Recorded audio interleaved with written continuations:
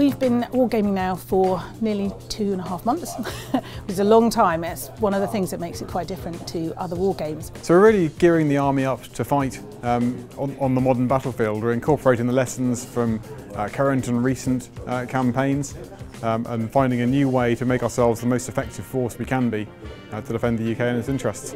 This is very much an exploratory game. It's, it's quick, dirty, aggregated, uh, and not one of those games that is all about the fine detail of testing a force. This is, this is a way to experiment with ideas, roll a few dice, see what works, discuss why we think that is, change things and then go again. We've brought in lots of expertise and um, experiences that we wouldn't necessarily get from just within DSTL or just within the military. So international collaboration is absolutely critical for our British Armed Forces. We would very rarely go into the situation we're in now that we're wargaming without having our colleagues with us from overseas. It's extremely important to work with our, our UK colleagues.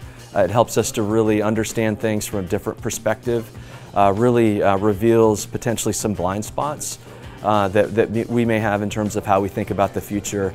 Uh, and then we'd like to think that uh, maybe occasionally we provide some insights that are useful to them as well.